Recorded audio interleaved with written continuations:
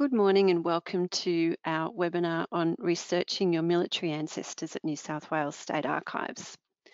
Before we begin, we just acknowledge country. In the spirit of reconciliation, New South Wales State Archives acknowledges the traditional custodians of country throughout Australia and their connections to land, sea and community. We pay our respects to their elders past and present and extend that respect to all Aboriginal and Torres Strait Islander peoples today. So today we're going to be looking at military records, military ancestors in the New South Wales State Government Archives. We're going to start with a quick acknowledgement of the service records that are held at other organisations. And then we're going to look at the guides and indexes on our website, the early colonial period, which is really that 1788 to 1856 time period, the years of responsible government up to 1900, and then post-Federation records from 1901. So first off, I'd just like to really shout out to both the Australian War Memorial and the National Archives of Australia. These websites are probably your most useful and immediate sources of information for service records of Australia. So World War I Army and Navy records, World War II Army, Navy and Air Force records, and some post-World War II records held at the National Archives of Australia, but the Department of Defence also maintains some records as well. And the Australian War Memorial, which holds a lot of information about um, our various wars that uh, and conflicts that Australia has been involved in. So those are very, two very important websites for your military ancestor and service record research. So the National Archives of Australia actually also holds some New South Wales military records before and after 1901. So we've just got some research suggestions listed here for you. And as I said, we are recording this, so it will be uploaded to our website next week. The National Archives web address is naa.gov.au. Um, and they hold military records pre-1900 that were transferred to the Commonwealth in 1901 and later. Some search suggestions include in record search, which is their catalogue, using the advanced search option and looking for agency SP820 and putting an asterisk after the zero and you'll come up with quite a few different agencies that transferred records from New South Wales to the National Archives. There's also CA1272, which is the Chief Secretary, and there are some pre-1900 New South Wales military records listed there. Um, the agency CA5967 for the Volunteers Naval Brigade, and then the series C3170 for records of various New South Wales infantry battalions between 1885 and 1921. So they're just some suggestions of records in the National Archives of Australia's collection that can be helpful when you're looking for New South Wales pre-1900 and after 1901 military records. So moving on to the New South Wales State Archives website, we have some places that are useful for your research. So our web address is records.nsw.gov.au and our most useful points of access are our online indexes and our research A to Z, our webinars, as well as going straight to our catalogue. So you'll see I've put two circles on the web page there. So we've got the circle to our quick links to our online indexes, Research A to Z and our webinars. And then down the bottom, there's another circle to our Research A to Z. So a few ways you can get into looking at topics of research about the collection. And just above that bottom circle, you'll see a big white box that says search, and that's the search box to our catalogue. So the catalogue is the records that list the records in our collection, sometimes file by file, sometimes series. Sometimes you'll actually see copies of records in there, and we will look at some of those today. And then there's also details about the government agencies that created those records, and that can help you identify where to look to find information. So if I clicked on the Research A to Z button, that would take us to our research topic guides. So they're guides that we've put together on different subjects and they can help you identify records that might be useful for your research. Because we're looking at military ancestors today, I've picked out our military and war guides, and you can look under different headings in the research A to Z. So things like defence establishments and fortifications, military and war, railways and railway workers, soldiers settlement, World War One and World War Two. And so you can see this is the guide page for our military and war. And we've got various things listed there from the Anzac Centenary, Boer War, military personnel, soldiers settlement, and war and Australia. Now, if I was to think about the online indexes, there's also a subject heading for military and war. So we've got quite a few employee type records that relate to as relate to the military, but you can also look under the headings Railways and Railway Workers, Soldiers Settlement, and World War One. And all of those will take you to indexes that relate to military people in the New South Wales State Archives collection. Now, the early colonial period we think of as 1788 to 1856. So in terms of military records, at this time, British military units had responsibility for external defence in New South Wales as required, as well as establishing law and order within the settlement. There are service records such as muster rolls and pay lists, and these are records of the British government. So they're not actually the New South Wales State Government archives. I've just got a little tiny example there of the muster book and pay list from the 3rd Regiment East Kent Buffs and this comes from the Australian Joint Copying Project. Digital copies of military records of the British military are available on the National Archives UK website. So that's nationalarchives.gov.uk. Once you're on their website, if you look for research guides, free online records, digital microfilm, you'll be able to track down the muster list, muster books and pay lists. Some of those records are also on Ancestry. So there's the database UK British Army muster books and pay lists 1817, 1812 to 1817. So that's another place you can go. And the National Library of Australia, NLA, have also digitised records from the Australian Joint Copying Project. Now, the Australian Joint Copying Project is a collection of material from the United Kingdom government departments that related to Australia, New Zealand, and the Pacific between 1560 and 1984. So, hugely useful for doing research, particularly for, say, the British military who were serving in Australia. Um, and the, they have digitised all of the Australian Joint Copying Project microfilms on the National Library of Australia's website.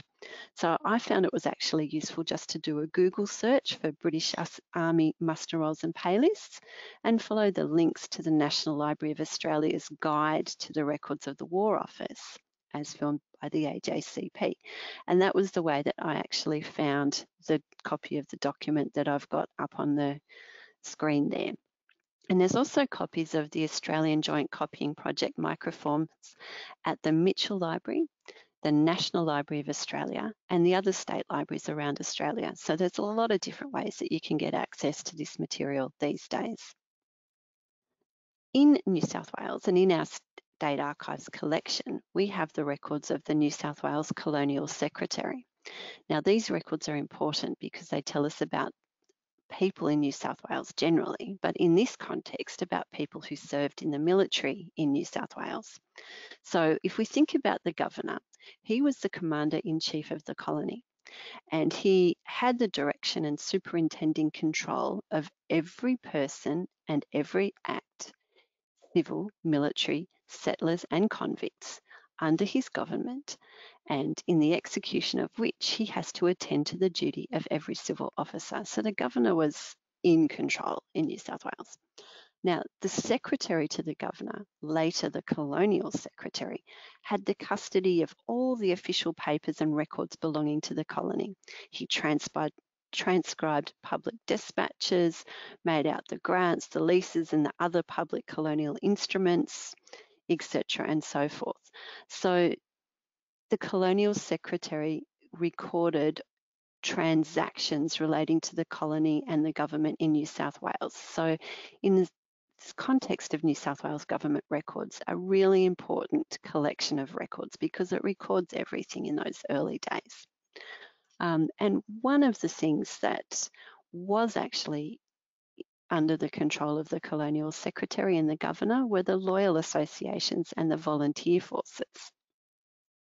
But before we get up to those, we'll just have a look at a petition here that was sent to the colonial secretary.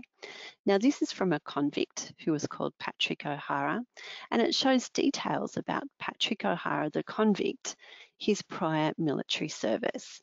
And this prior military service information would get you back to the muster and pay lists. So Patrick O'Hara was 77 in 1810. He'd come to the colony in 1800 on the convict ship Friendship as a convict. Um, and it gives details of his military service. So he'd served in the American War in the 57th Regiment. And then he was invalided from the 107th Regiment by General Hinton in the Isle of Wight. He did garrison duty in the Isle of Alderney and was a pensioner in Chelsea in the UK. And then he went back to Ireland, went to Scotland, had some unfortunate circumstances that resulted in him becoming a convict. He's now writing to the governor to request a pardon so that he can go back home and die amongst his friends. So, what a wonderful letter. Gives us so much information about his background and his military history there. So when you're looking for military records in the Colonial Secretary's papers, think about things like the early index to the Colonial Secretary's papers, 1788 to 1825, which you can find on our website in our online indexes. And you can also find the entries from this index in our catalogue. And some of the things you can look under there would be the name of the individual, the regiment number, the, or regiment as a search term, defence, military, volunteer, those kinds of words. We've also got the Joan Reese Index to Convicts and Others, which covers from 1826 to 1896. And again, you could search this index by name or by keywords like regiment or defence or naval, those kinds of words. We've also got the index to the letters received by the Colonial Secretary relating to land, 1826 to 56, for letters from former British military personnel. So we'll see a little bit about that later on. There's an index to passengers arriving 1842 to 55. Now, whilst they didn't record the names of individual military people, personnel arriving in the colony, the names of the regiments and the ships on which they arrived are recorded. So if you search for R under regiment, you can find out the name of the ship and the date that a particular regiment arrived. We've also got the original indexes that were kept in the office that indexed and registered the colonial secretary's papers between the 1826 and 1900s.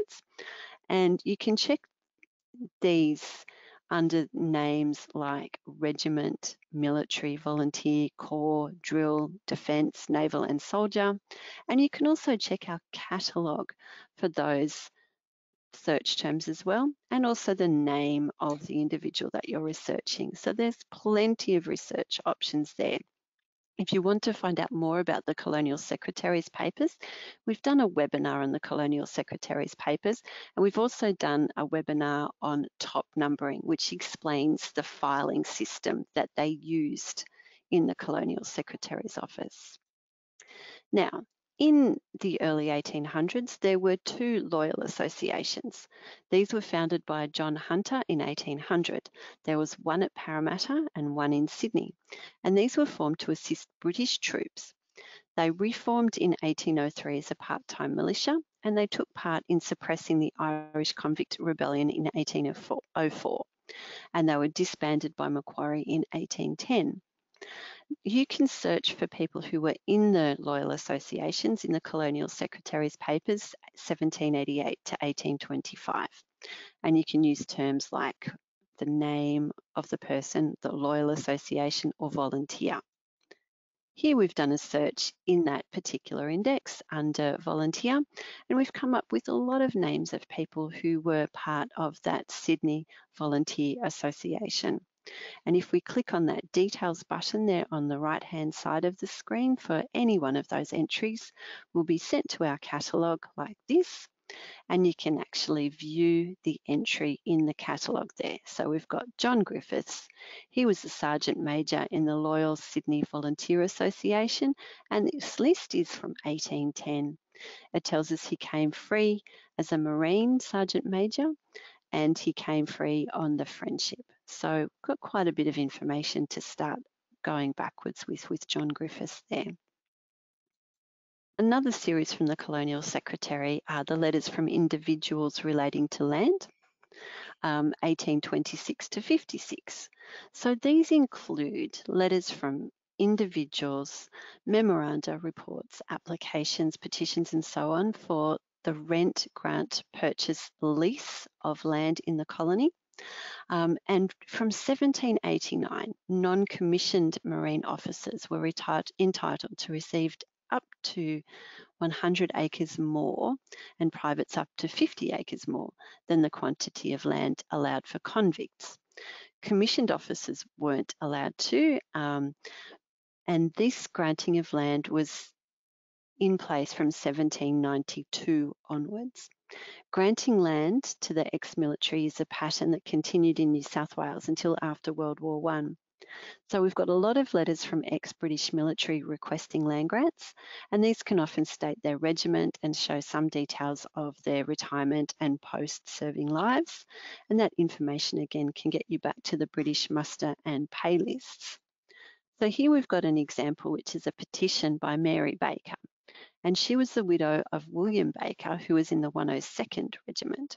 She, he had been granted 100 acres at Wilberforce um, and the land was granted to Mary in the right of her husband, um, and she's now petitioning to the Colonial Secretary to get that land recharted and put in her own name. So his advanced years and infirm state of health had impeded that charting and measuring of the land at the time. Um, and so now she needs to get her land grants confirmed. She considered the land as being chartered to her, and she's already cleared about 10 acres of land, she says, and she now intends to build a house for herself and her children. So in those two petitions, we get a little bit of a picture into the life of Mary. We find out a bit about her husband, William. We know that she's living there with her children and that she's hopeful that she can stay on that land, get that land confirmed in her own name and bring her children up there even though he's passed away. Now, responsible government we consider from 1856 and the colony of New South Wales was under its own responsible government from 1856 to 1901. The Constitution Act of 1855 brought this government to New South Wales. So that started the two houses of parliament that we're familiar with today. It introduced a wide range of powers over domestic matters, revenue raising and land. Um, it was as a result of this process that the British government pulled out much of the funding for military and only then would pay for a fixed minimum force. Um, and under responsible government, the colonies had to pay for any additional British troops. Military properties such as barracks were transferred to the colonies, and the colonies were now responsible for all the troops retained so when we think about the military in this time period, we think about firstly at home. And one of the things that the colonial government had to then take care of was coastal defence and fortifications. Um, so in the early years of the colony, the British military units had had responsibility for this external defence, as well as establish law and order within the colony. So British troops withdrew in 1870 finally, and at this stage, colony, colonies took over for their own defence requirements. Um, New South Wales embarked on a period of building defensive fortifications, usually around concentrated port entrances and other points of vantage. So places like Port Jackson, Bare Island Fort, Fort Scratchley at Newcastle, and the Victoria Barracks at Sydney. And after Federation, the Commonwealth took responsibility for naval and military defences in Australia. Control of a number of fortifications throughout New South Wales was assumed by the new Department of Defence. So the other side of at home was the volunteer forces. And there was a first a small volunteer force set up in 1854 during the Crimean War. These forces were unpaid and had to supply their own uniforms. In 1860, volunteer forces were established with the generally unsettled period in the Pacific region.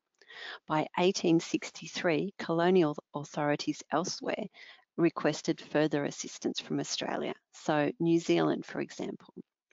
Imperial troops left the colony in 1870 and the colonial government was then encouraged to maintain its own defence forces.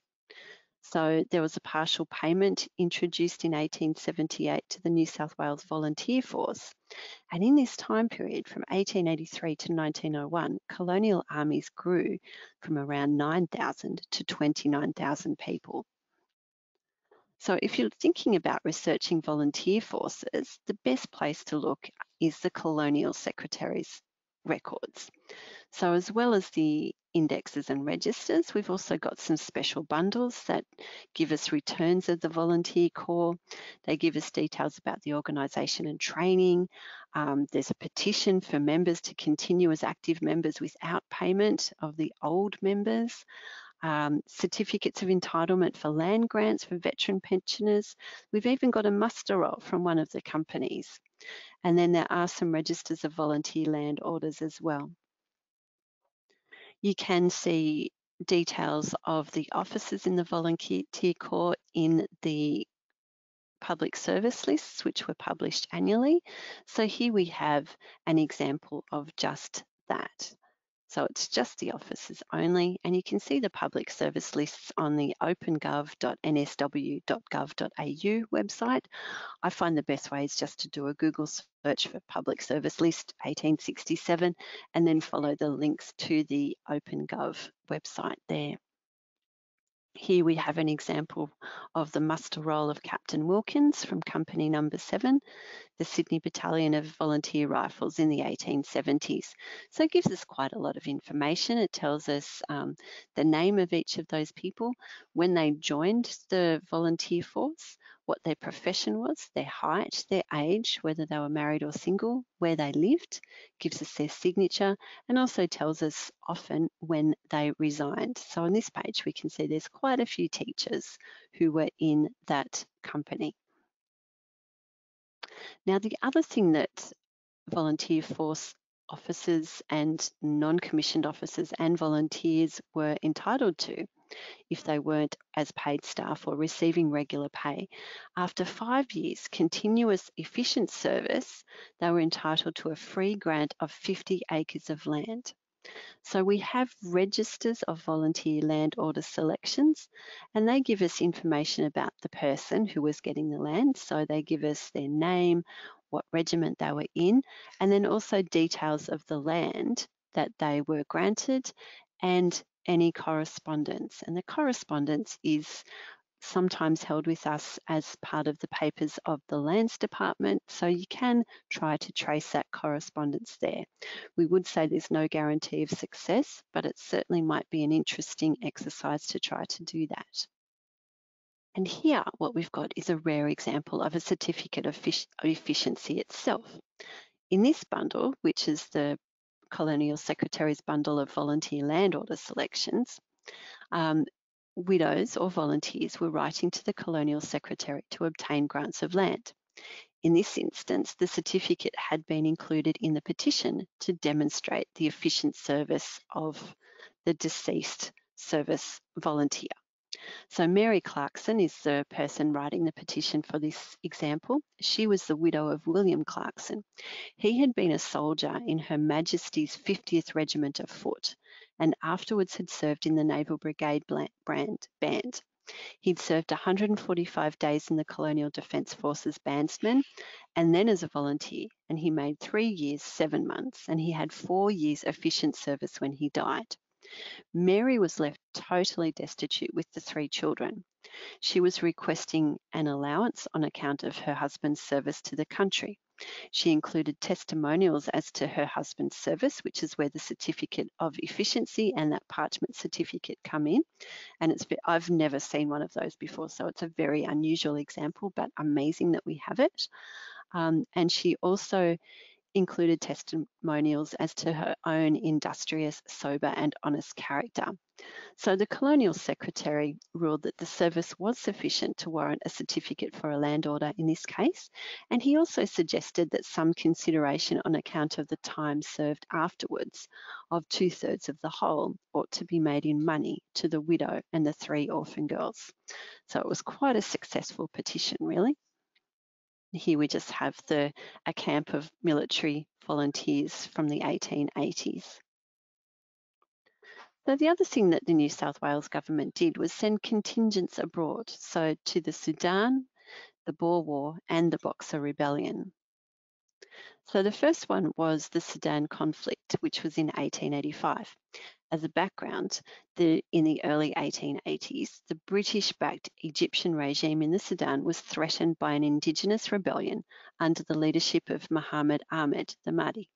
So to support the British, a contingent, an infantry battalion of 522 men, 24 officers and an artillery battery of 212 men set sail on the 3rd of March 1885. The men were mostly employed in railway fatigue work, although 50 of them were detached to form part of a camel corps. They arrived back in Sydney on the 19th of June, so they weren't there very long. And there's nine names on the Australian War Memorial's Roll of Honour for the Sudan conflict. And this is a picture of the tents in the Sudan, so quite an amazing shot from 1885.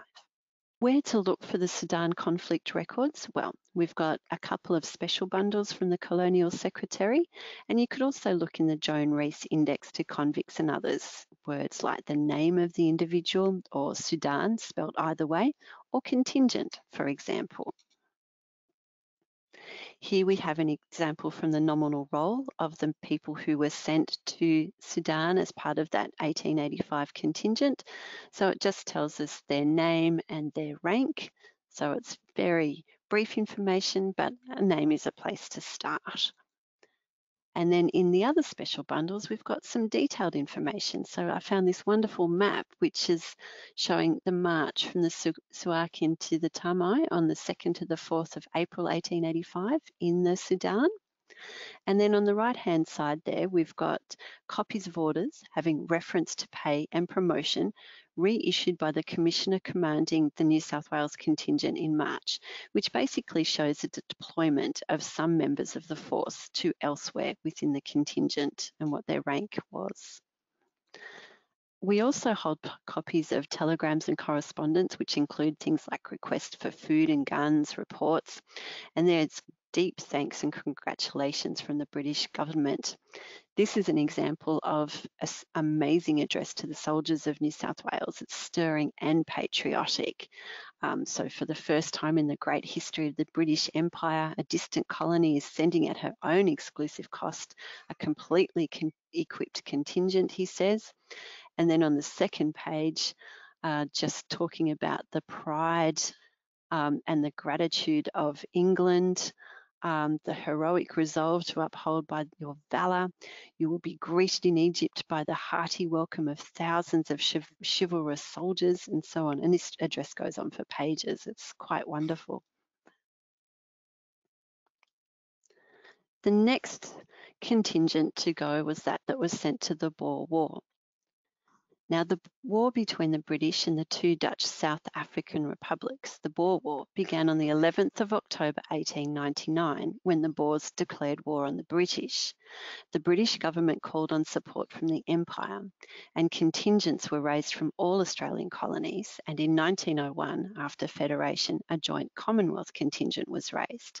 The war lasted until the 31st of May 1902, when Lord Kitchener and General Botha signed the peace treaty and there are 589 names from this conflict on the Australian War Memorial's Roll of Honour for the Boer War. So where to look in the collection? I would start with our Boer War Records Guide, which is in our Research A to Z.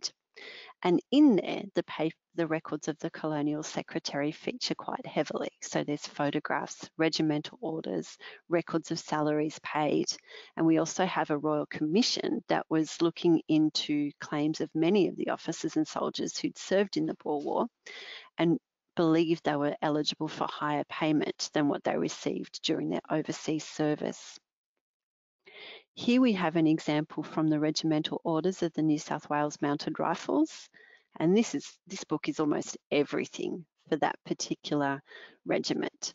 There's detailed lists, lists of horses attached to the brigade, lists of officers and men's names and rank, their trade, age, religion, birthplace. There's reports of the contingent's casualties, their engagements, their skirmishes with the Boers. There's also an index to defaulters, which refers to a list of those defaulters. Um, and there's lists of men who returned to Australia or England, those that were killed in action and taken prisoner. So it's just everything. Here's another page from that regimental orders, and here you can see the casualties, the general engagements, the men who were at one of the outposts, and those men who were engaged in operations and those particular dates. So it's quite amazing. It's not indexed, it's not microfilmed, it's not digitized. So to view this one, you would need to come into our reading room and view it there. And here we've got a volume from the Treasury Office looking at salaries paid to the South African contingent in 1901 and 02.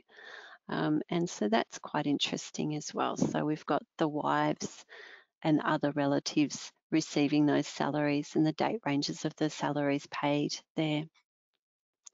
And finally, this is just an, an image of the departure of the New South Wales Bushmen's contingent. Um, and it just shows you the support from the whole of the population there, well, the population in the picture anyway, that for that particular contingent. Another conflict was the Boxer Rebellion in China. So by the end of the 19th century, the balance of the lucrative trade between China and the West lay almost entirely in the West's favour. Anti-European secret societies formed and throughout 19, 1899, the militant societies combined in a campaign against Westerners and Westernised Chinese. By 1900 March, this uprising spread and Western powers decided to intervene mainly to counter threats to their territorial and trade ambitions. In June 1900, as a Western force marched on Peking, Chinese imperial troops were sent to support the Boxers.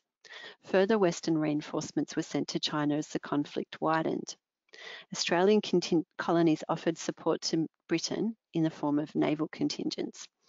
And then the first naval Australian contingents, mostly from New South Wales and Victoria, sailed on the 8th of August 1900 and this is the boat that one of those contingents sailed on, the Salamis. So we don't have a lot of records in the collection about the Boxer Uprising, but I'd be looking in the Colonial Secretary's papers.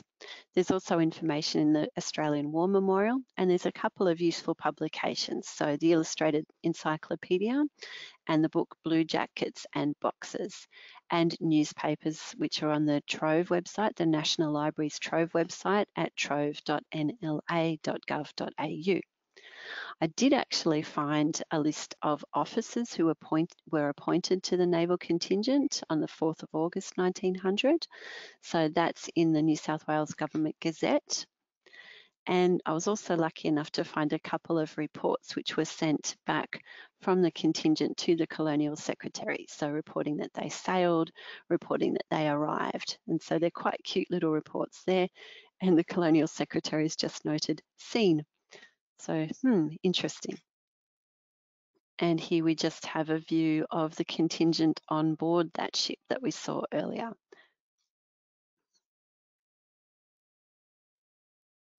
So Federation happened in 1901 in January.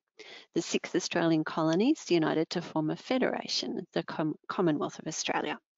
A range of concerns such as the tariff, communications, transport and trade had strengthened the arguments for federation in the 1890s, but it was defence and immigration that finally brought the colonies together. At Federation, the function of defence was transferred to the Commonwealth Government. So if you think about it, up until 1856, it's a British thing. For 50 years or so, it's a New South Wales thing. And then after that, it's a Commonwealth thing. So defence is only really a New South Wales thing for a very short period of time. But that being said, there's plenty of New South Wales state archives that can inform us about our military ancestors during the 20th century, life in the home front, the war effort, and the returned soldiers. So in World War One, uh, Britain, Britain and Germany went to war in August 1914. Prime Minister Andrew Fisher's government pledged full support for Britain. The outbreak of war was greeted in Australia, as in many other places, with great public enthusiasm, and in response to the overwhelming number of volunteers, the authorities set exacting physical standards for the recruits. For Australia, as for many nations, the First World War remains the most costly conflict in terms of death and casualties. So from a population of fewer than 5 million, over 416,000 men enlisted, of which over 60,000 were killed and 156,000 were gassed wounded, or taken prisoner. In 1939, on the 1st of September, Germany invaded Poland, and two days later, Britain and France declared war on Germany. Australia entered the war on the 3rd of, December, of September, following the British lead. When Japan attacked the American forces at Pearl Harbor in December 1941, Australia focused troops and resources on the Pacific War. Almost 1 million Australians served in the armed forces and over 27,000 Australians died while in military service. The war ended on the 14th of August 1945 when Japan surrendered, effectively ending the war. Now, the first place to look for World War I information would be our New South Wales Anzac Centenary website. So I've given you the address there, but you can also find it through our World War I guide. So if you go to Research A to Z World War I, you'll see a link to that website there. And it divides everything up for World War One, our records and information with in service, which looks at the enlistment and response of the government and people of New South Wales to World War One. It looks at day to day life on the home front during the war years. It looks at how the war was commemorated in New South Wales in remembrance, and it gives us some research pathways for tracing stories of New South Wales soldiers and nurses. This photograph's just included because I really like it. So to me, this just says so much about the youthful hopes um, and the excitement that they must have felt, these young boys, when they were actually in Egypt, standing outside the Great Pyramids. It's just at that stage would have been an amazing experience in their lives, those poor boys. Now, if we think about first off 20th century government employees and military service, we certainly have a lot of records of government employees going off to serve in the military. We can find these boys and men in our online indexes. We can look in our catalogue. You can search by the name of a person. And you can also look at the staff records from various government agencies, from railways, education, Board of Fire Commissioners, Public Service Board, for example. So our online indexes, probably our most important would be our government employees granted military leave 1914 to 18. We've got a few railway indexes there. So the railways kept quite amazing records about the men and boys of their employee who went off to World War One. They had a nominal roll and a roll of honour. And there's also the indexes of the soldiers' settlement era after the war. So if we think about that New South Wales government employees granted military leave, there are about 10,000 individual names and 13,000 entries taken from a variety of records. And these records included parliamentary papers, police salary registers, photographed honour rolls from the glass negatives in our collection, and government gazettes. So you can search this index by name. So here we've put in the surname Davey, and we've come up with a couple of teachers and a, a labourer who worked for the railways. Now, if we go back to the railway records, we can actually see James Henry Davey's employee card here, we can see that he was um, he enlisted and he went off to war. So we can see that that happened to him. And then we can see that he's come back and he's worked the rest of his career with the railways as well. So there were provisions made for the railway staff. Permanent employees who'd been called on or had volunteered for military duty were granted a leave of absence. They were paid the difference between their wages as an employee and the military allowance while they were away. Their positions in the railways were kept open for them and their seniority was maintained so that on their return they could resume work as long as they were capable of performing their duties. Temporary staff were offered similar terms if their occupations were of a permanent nature or likely to lead to permanency. But we also know that 1,180 State Rail employees lost their lives in World War I, and it was a very big employer in New South Wales at the time. So James Henry Davey worked for the railways for his whole life. He was finally fatally injured on the way to work on the 17th of December 1942, and we've got an inquest file about him as well. Um, and a compensation was paid to his widow, Sarah, and a refund of his contribution to the superannuation fund was also paid to Sarah. So James Henry Davey is also on the nominal roll of the first Australian railway section. So here he is showing up in his index. And here is the copy of the page on which he is on the nominal roll itself. So here's the second bottom entry there. It gives us his trade and calling, his rank, his whether he's married or single, which he's married, his address, his next of kin, and so on and so forth throughout the thing. So the majority of the nominal roll lists those who joined the first railway section at the showground camp in Sydney. Um, and most of these people were from New South Wales, although a few did give interstate addresses. And the other wonderful thing about the nominal roll is this group photograph of the first Australian railway section taken at the Sydney showground prior to departure to France in 1917. We also have the Roll of Honour, and this was printed in 1924 and provided details of railway employees who worked for the government railways and tramways and lost their lives as a result of service in the First World War. Um, it included it, the name, branch and military unit of each person. Uh, and this is indexed, and so you can do a name search to see if you can find your individual.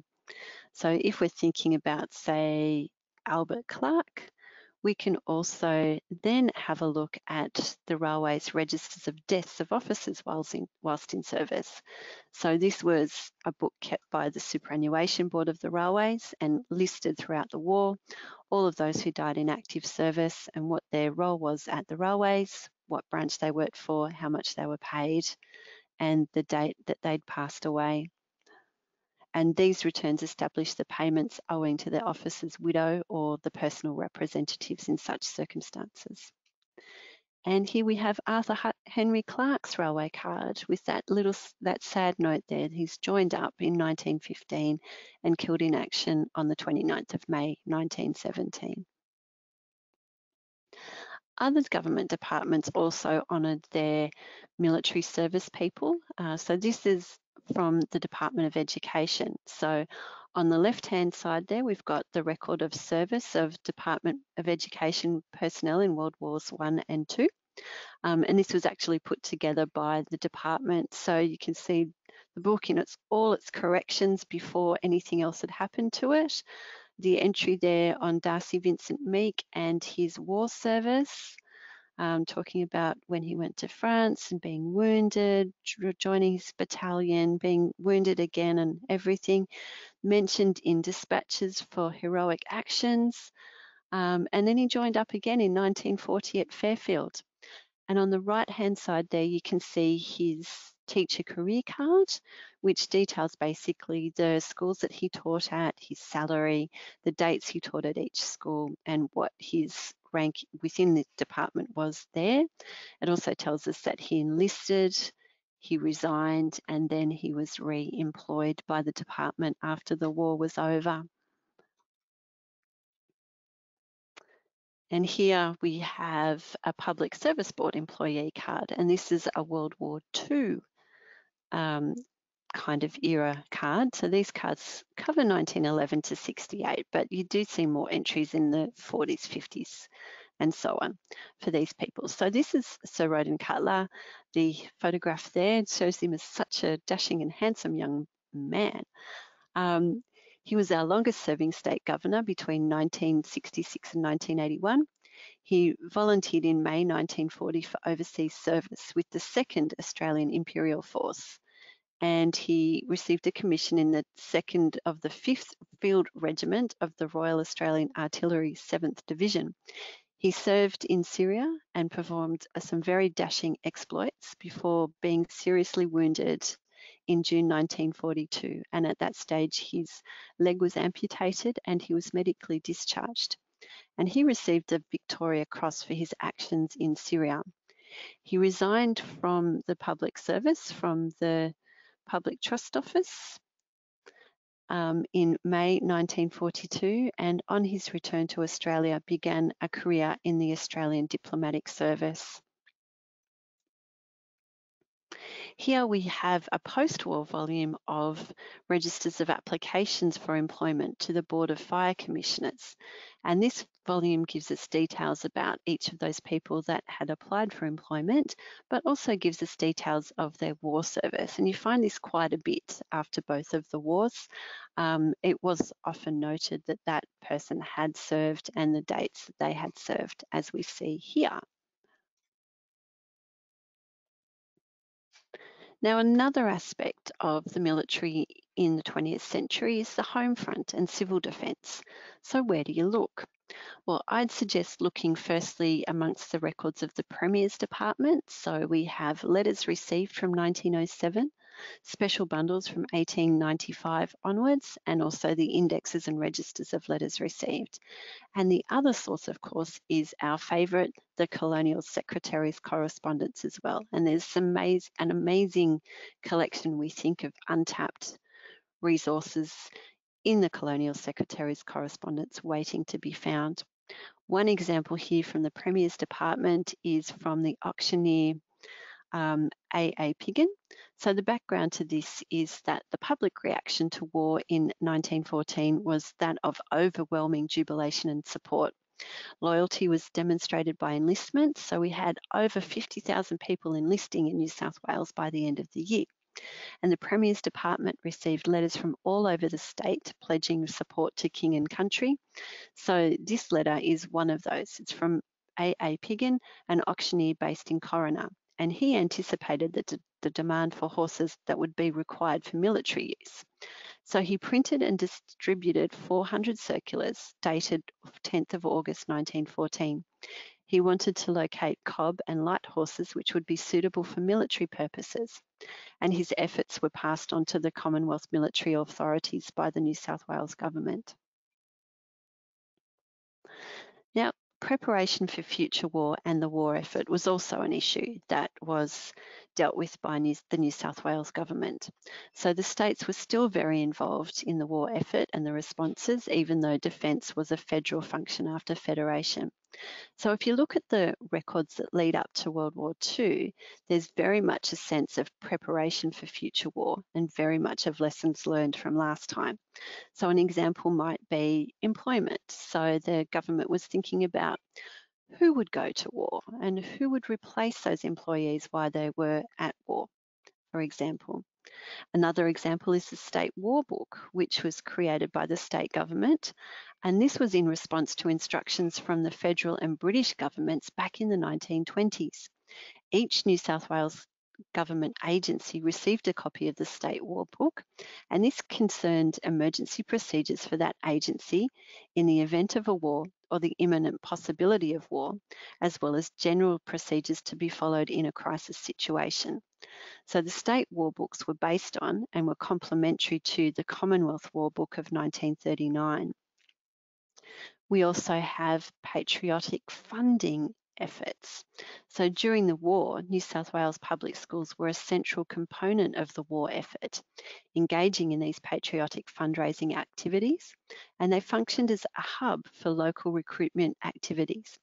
They, schools provided grounds for rifle club, club purposes, for example, and schools were also some of the first places to erect the local honour rolls.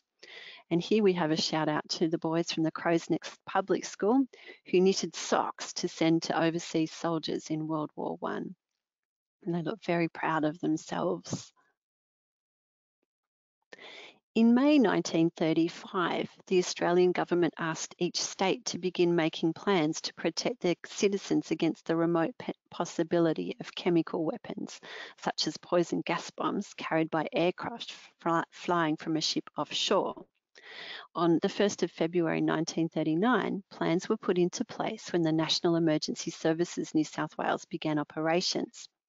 So on the left here, we see a leaflet from the National Emergency Service for the public dated 1940, and it shows how to erect an Anderson bomb shelter in your backyard. And then on the right here, we've got a picture from the Sydney Harbour Bridge.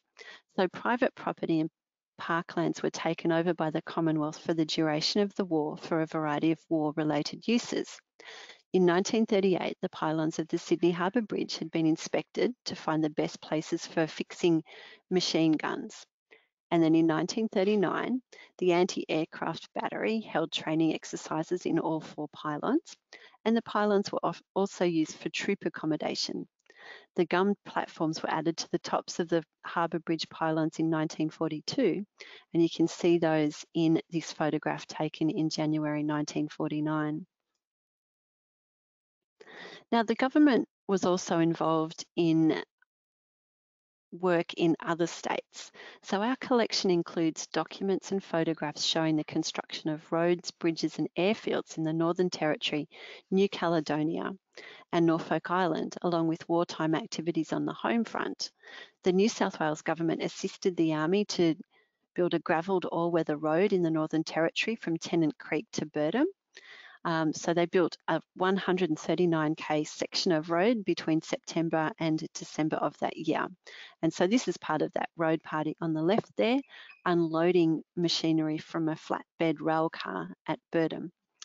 Um, they were the government was also involved in constructing the Norfolk Island Aerodrome and this construction was undertaken by the government for the New South Wales, sorry, the United States Army Air Force and took place between August 1942 and February 1943. So we see some loading of equipment there and the difficulties thereon.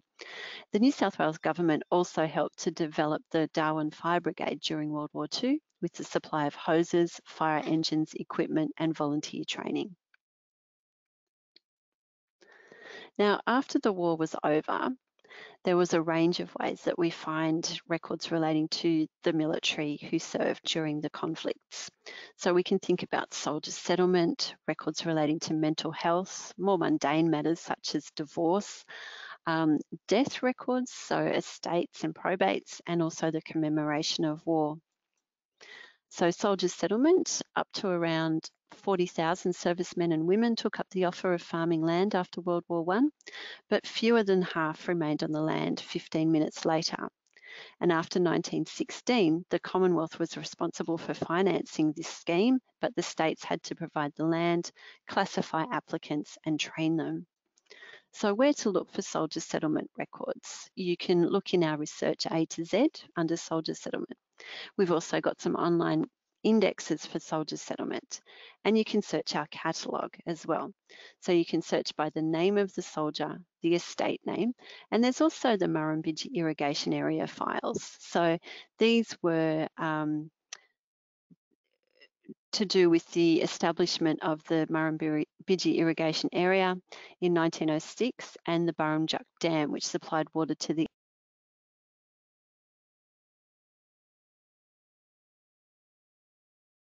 included in those files. And there's also the Soldier Settlement website, the Land Fit for Heroes, which contains case studies using sources held by us and also some returned soldiers digitised personnel files held by the National Archives of Australia. Here's just an example of searching in our index for a particular name, and you can see for James Graham Reed, we've got some various soldiers settlement records there, mostly for this one area in the land district of Parkes, but then there's also a second person in the land district of Dubbo. And so these files can give you such an insight into the difficulties of being a soldier settler at this time on this land, working this land that wasn't always the best land. Um, so here we have James Graham Reed with his soldier settlement at Trundle Land District of Parkes with the estate name of Birds. He here we see his application for a loan and it gives us details about his discharge from the military, where he was living, um, and some details about where the land was. Here we see some details of the improvements to the land that had already been made. So the house, the washouts, the sheds, the tanks, and the fences. Here we have details of his application for loan, the loan and what he wanted it for. So clearing and fencing, more tanks, a couple of horses and cows and some sheep. And then finally, we have a letter from him in 1924 where he's talking about the difficulty of farming this land, the successive bad years, the loss of labour. He didn't consider that he'd had much encouragement from the department. And by October of that year, 1924, the district surveyor reported that Reed had abandoned his holding and that the surveyor had taken possession of the remaining stock and plant. Reed had disappeared and the police were looking for him in 1925 and they tried to get in touch with his father-in-law, but even the father-in-law was unable to assist them to find Reed. So we're not sure what happened to him after that, but I do hope that life improved for him. Mental health is another aspect of um, post-war service, as we're well aware of these days, but this was possibly around the time when they first started to really think of it. So Broughton Hall, next to Callan Park in Lilyfield, was used from 1915 for the treatment of returned soldiers suffering from shell shock and other nervous disorders. The hospital was administered by the Australian Army, and in this way they could use military powers of detention instead of burdening returned soldiers with certification and its associated stigma. Broughton Hall worked in conjunction with Callan Park, which was just next door. There was a cottage in the grounds set aside for soldiers, and those requiring special treatment were admitted to the hospital itself. Responsibility for the treatment of mental disorders suffered by ex-servicemen was transferred to the state by mid-1920. Um, and it's important to note that patient identifying records are closed to public access for 110 years. So all of those post-World War and two, one and two records are still closed to public access. But if you are looking to access records of a particular individual, you can apply to New South Wales Health for permission to do that. And then you can contact us to help you with the research for that. During World War II, the facilities at Kenmore Hospital at Goulburn were made available for the psychiatric treatment of military personnel. So at that stage, the hospital was put under control of the Commonwealth Government. And again, records of patients who were here are still closed to public access for 110 years as well. And again, you can contact New South Wales Health for permission to access those records. So thinking about divorce and estate records, the hurried war bridals only to end with not that much love once the husband came back from war and they really got to know each other, as one example of a scenario. Um, there are the divorce files that cover 1873 to beg my pardon, it's 1976, not 1876. And you can search the catalogue for divorce files by the name of each party and using the name divorce. And we also have, in terms of deceased soldiers and deceased ex-military personnel, deceased estate files, probate packets, and public trustee records. And these are all listed in the catalogue as well. So you can search by the name of the person. And if you're looking more generally, you could search for soldier, AIF, serviceman, ex ex-servicemen to find general records relating to soldiers. And a note about the public trustee deceased estate files, they are closed to public access for 100 years rather than the standard 30, which is the case for the deceased estates and the divorce files and the probate packets are open under an early access provision. So here's an example of one of our very favourite probate packets. This is for Cecil Robert Winch, who was born in Rozelle and died at Gallipoli in 1915. He joined up on the 22nd of August 1914 when he was 22. Um, and his will, which is written on the back of a photograph, a family photograph there in pencil, leaves everything to his brother um, and we see there also the telegram that informs the family that he'd been killed in action, and then also the document from the AIF certifying that it, that had happened. Remember that picture that we saw earlier of John Francis Key when we are talking about military employed, sorry, state government employees who went off to the military.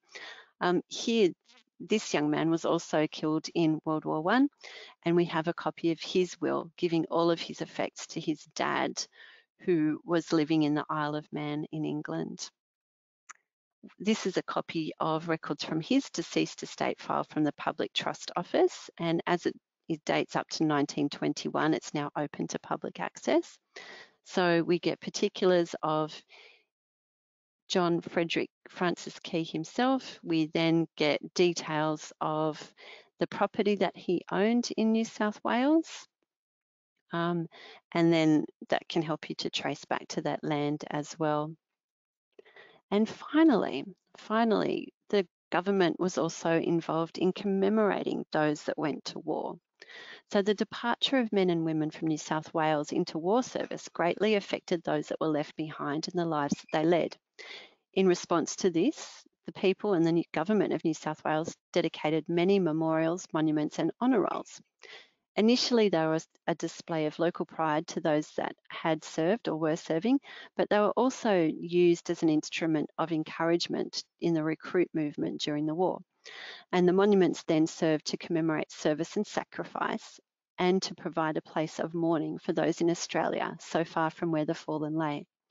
Honour rolls and memorials were usually paid for by local committees, but some, some townships sought assistance from the government.